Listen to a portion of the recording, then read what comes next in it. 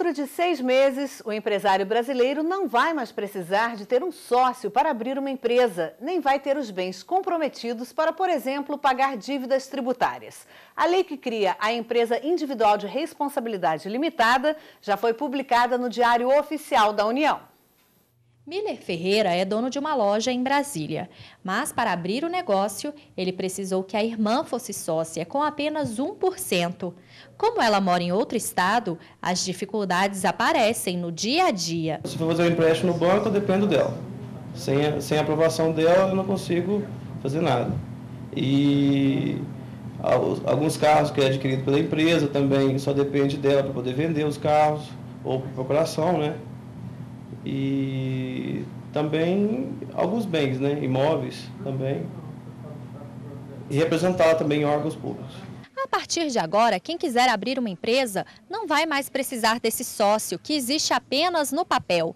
Isso vai ser possível com a criação da empresa individual de responsabilidade limitada. Para se enquadrar na nova modalidade, é preciso ter capital social mínimo de mais de 100 salários mínimos.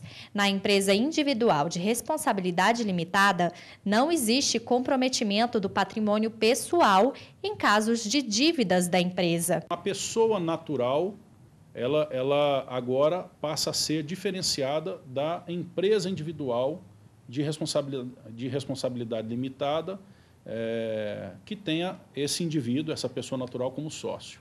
Ou seja, as questões de dívida, as questões de, de crédito, as relações comerciais desse empreendedor perante o mercado, ressalvadas as questões trabalhistas, todas as demais são escopo agora é, de limite de responsabilidade até o valor do capital social da empresa. Além de diminuir a burocracia, a nova lei busca também combater a corrupção e os chamados laranjas. A obrigação de ter mais de um sócio levava à prática de o sócio ter 99% do capital e demais sócios, às vezes só para formalidade. O nome social deve conter a expressão EIRELI, o mesmo que acontece hoje com as sociedades limitadas, LTDA, e anônimas, SA.